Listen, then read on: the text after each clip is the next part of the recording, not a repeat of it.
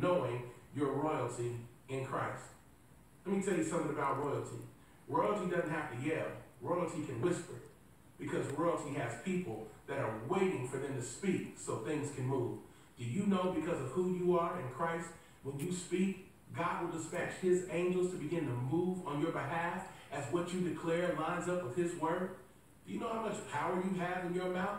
You better start declaring. You better start speaking. Power of death and life is in the tongue. Your marriage can turn around. Your children can get saved. Your job situation can shift. God can release you from debt. Oh, yes, He can. He can heal your body. He ain't just Jesus from over 2,000 years ago. He's still great and mighty right now. You might as well start shouting in your house because I feel the Holy Ghost. Do you know that you're an heir and a joint heir with Christ Jesus? And when He died, we died.